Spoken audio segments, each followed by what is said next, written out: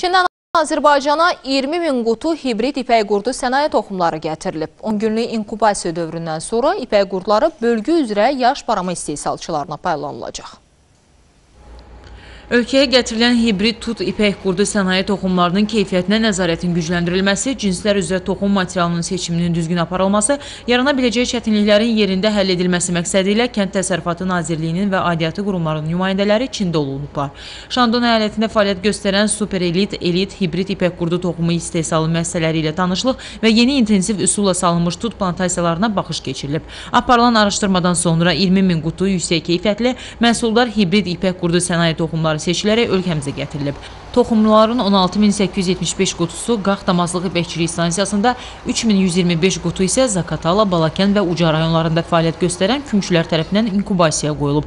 İnkubasiyadan əldə olunan ipək qurdularının mayın birinci 10 günlüyünə qədər müvafiq rayonların kümçülərinə paylanılması nəzərdə tutulub.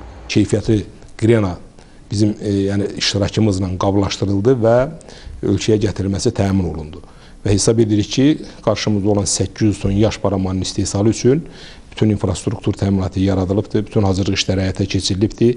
İnkubasiya yüksək səviyyədə həyata keçirilərək e, bölgə əsasında Respublikanın rayonlarına, kümçülərə paylanacaq. Baramaçılığın inkişafı ilə bağlı dövlət proqramı qəbul olunub. Bu sənəddə əsas hədəf 2025-ci ildə yaş barama istehsalını 6 min tona çatdırmaqdır. Bunun üçün hazırda zəruri infrastruktur yaradılır. Ötən illər ərzində Çindən 3 milyon 500 min tut tinqi gətirilib. Surxayata Kişiyev, Səidə Şəfiyeva, xəbərlər.